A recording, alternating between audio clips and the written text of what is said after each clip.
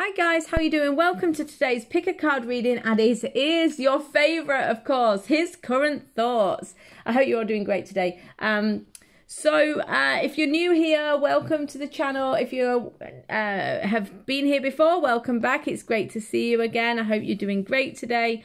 And just a quick thing, it's intuitive, it's general, so some of the uh, messages might not make sense to you or might not resonate. Just take whatever does, leave what doesn't. Uh, please don't forget to comment, like, and share the video. This is annoying me that this isn't centered. Here we go.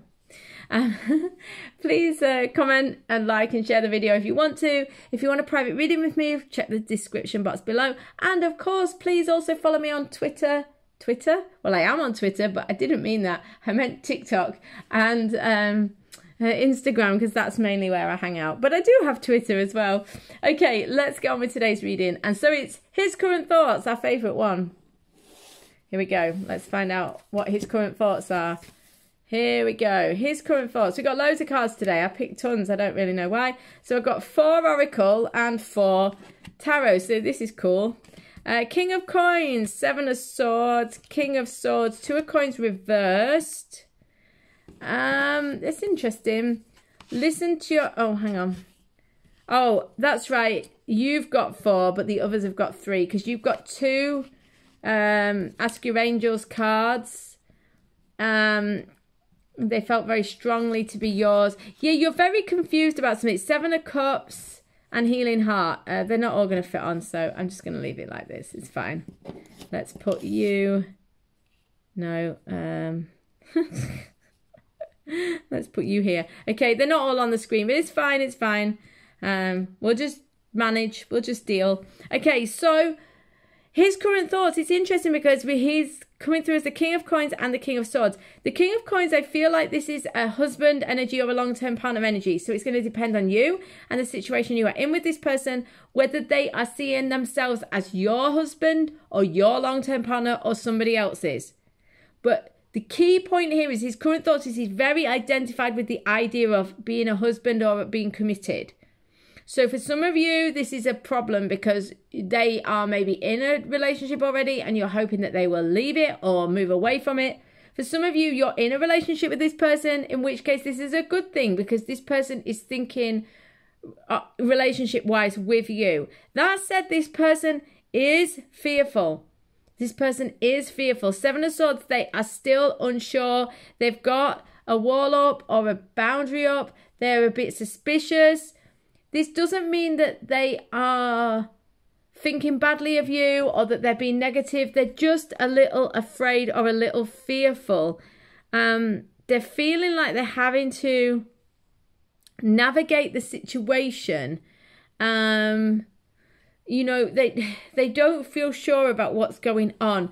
They're being called to look, ask your angels or listen to your intuition. Basically, this is a soul um, connection situation. It might involve more than one soul connection. There may be because the Seven of Swords can be a sign of an affair, you know, or a you know an unconventional relationship of some sort of along the lines of an affair. So um, this can be a sign of that. That maybe things are hidden with your relationship. But the point is that because of this, listen to your intuition and ask your angels. It's a strong soul connection. Um, and that really this person is listening on an intuitive level, or they're getting their signs and signals about you, they're getting their guidance from on a soul level. So, again, this is going to depend on your person. How connected are they soul wise? Are they very connected? Are they medium level connected? Because the more connected they are, the more likely they are to navigate the course correctly, or not correctly, but in your favor, let's say. Um, the Seven of Cups and the Seven of Swords together, they have got some external issues going on, some external boundaries. It could be um, circumstances and events that are causing a, a, an actual physical out there in the world barrier between you and them. Um, they they feel a little bit overwhelmed. They've got a lot of different options of things to do or things to think about or ways to go, and emotionally they're feeling a bit pulled around but they will keep on course or move on the right course depending on how well they can listen to their intuition. Healing heart. This is about at the moment they're trying to heal. They feel. Uh, it, like I say, they're being guided from a heart and soul perspective. So, how uh, focused they are on coming towards you depends on how connected they are with their intuition, with their heart and soul. With this, ask your intuition and Seven of Cups, there's absolutely uh, there's it's absolutely crucial that they do listen to their intuition if they're going to move towards you effectively and successfully yeah? The king of swords could be them there they could be an air sign but they are someone who is trying to be very logical a very um intelligent about the situation. They are thinking a lot about you as well. This is King of Swords, so it's a thinking energy. They are thinking a lot about you. Um, some of them are feeling very overwhelmed. Some of them are releasing overwhelm. So it depends. Um, again, uh, how overwhelmed this person is, how fearful this person is, how suspicious this person is, depends on how much they're listening to their intuition. What I feel is this relationship is teaching them to let go of fear. How and to feel more comfortable and to feel calmer and to feel better in their life in general. How well they do this depends on how connected to their heart and soul they are. Okay? But this person is seeing their commitment as important and they are being guided intuitively and they are thinking about you. This is the key. They are thinking about you. Okay? Um, so I hope this makes sense. Loads of love. I'll speak to you on the next reading or on a private reading in the meantime. I hope to speak to you soon.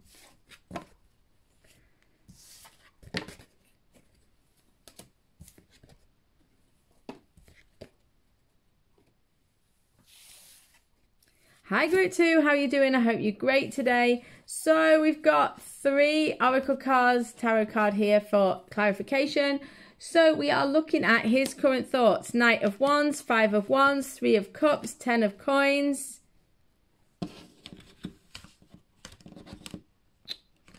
Oh. Reconsider. Accept Heaven's help. Four of Cups. Yeah, this person's not sure what they're doing. That's clear. But the universe is trying to help them accept heaven's help. The universe is trying to guide them, okay? So if you're feeling frustrated with this person, the universe is doing its best to help them, to move them forwards. But it's they're not accepting it. they're not fully accepting heaven's help. It said that you've prayed for help, so get out the way and let heaven help you. So they they want help. They feel a little bit lost in the situation. Um, this person could be if this person is the Knight of Wands, so this person could be partying, this person could be um, being a bit wild, this person could be out celebrating, having fun, drinking, uh, doing their own thing. This person, it depends because your person might be um, very young or more mature. And it, it depends on the circumstance your person is in. But this person is scattered. They're very passionate. They're very excited about life or very passionate about something in life. They've got a lot of fire in them. They've got a lot of uh, creativity or desire. They've got a lot of passion in them. However, this person is a bit all over the place. This person doesn't really know whether to come towards you or not. They're always reconsidering. So they come towards you, then they go away, then they come towards you, then they go away, either literally or energetically. So you feel this constant turmoil around them, or you feel like you're settled with them and then they do something different, you know, that sets you off, like makes you feel unstable again. So um, this person is kind of, their thoughts are that they don't know what to think, okay? And I feel like this has been ongoing with this person. They're always changing their mind. The Knight of Wands is changeable and reconsider says this person keeps changing their mind about what they want. They're probably very influenced by their friends or family with the Five of Wands. They've got some friends and family or some people around them who are kind of low vibe, right? They're maybe not that um, inspiring or they're not very um, supportive in some way, you know, and this person is getting caught up in like low vibe energies squabbles. This could even be with you, but this person is being affected by a low vibe energy within themselves or within their immediate circle of peers and family, friends, etc. Um, it could also be that these low, these uh, friends or family are actually leading this person astray to some extent. So it could be that they're socializing with people who are not helping them very well. They could be get, you know, uh, taking them off on the wrong track. You know, um, there's a lot of celebrating and partying and, and, and having a good time going on in this situation, but it's it feels kind of um, low vibe to me in a way. This person doesn't fully see the opportunity that you are offering with the Four of Cups. This person is probably avoiding pain or sadness. They're saying not right now to the opportunity but I also think they'll reconsider this in the future. It's not about you. The universe is trying to help them and guide them, okay? So you don't need to worry, they are being helped. But this person is confused and scattered. I think it's because they're very focused on what the friends and family might think or what society perceives is right or or most attractive or most uh, significant. You know, they're being influenced by external and quite low vibe energies they could be very influenced by money as well, Ten of Coins. Um, uh, but I also think that they see a lot of abundance with you. What I would say, this person sees you as really abundant. Now, this is good, but make sure that this person doesn't take advantage of that. Because this person, for me, I think on the whole at the moment, is saying, not right now to this energy. It doesn't make this person bad, for a few of you, this person is in a very low vibe state. Doesn't make them a bad person, but it can make a lot of their behavior bad, right? Um, for some of you, this person isn't like that. They're just trying to find themselves and they just genuinely are a little bit confused or a little bit lost at the minute. The point is that um, to not um, to give and receive in equal measure. All right. So they see you as a really abundant. They I think they feel quite a decent amount of passion towards you. They want to have a good time with you, but they're very affected by these low vibe people. I don't think this is you. But they're the universe, the guides are wanting to show you that they're not fully taking this opportunity that you're offering them. Even though the universe is trying to help them to move out of this low vibe energy, they're kind of not biting at the minute but I think they will potentially reconsider in the future. Just don't give too much too soon if this person can't decide how they feel about you. Don't be just an option to this person, okay? Is is kind of the message really here. Or be careful about whether that's what you really want. Hope this makes sense. Loads of love. I'll speak to you on the next reading, on a private reading. In the meantime, see you soon, guys. Oh.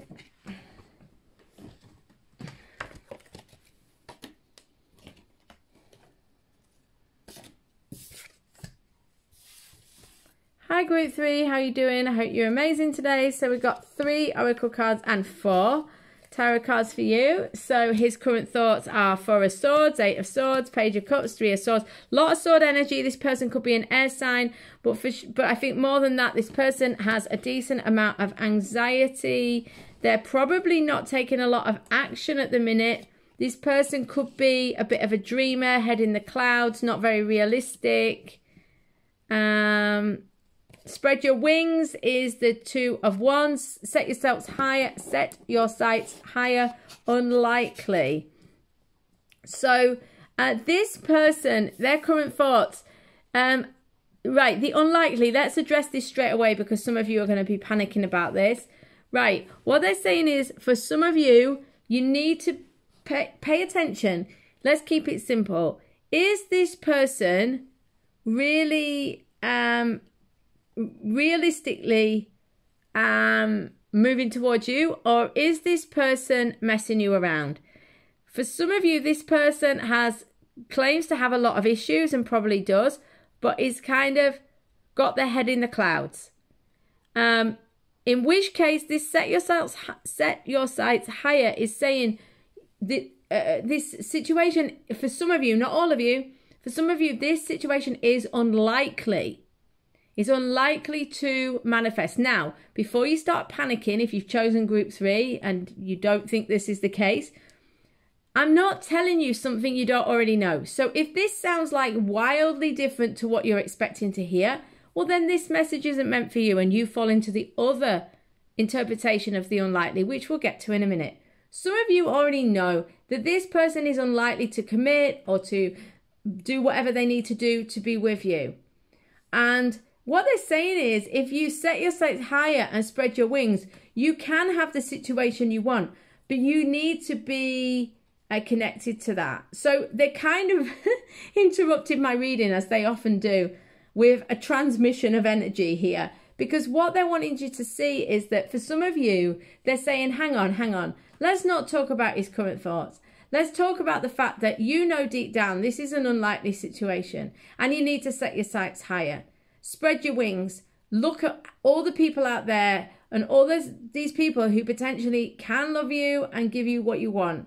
So they're really wanting to interrupt and tell you this. So some of you, this is your message, okay?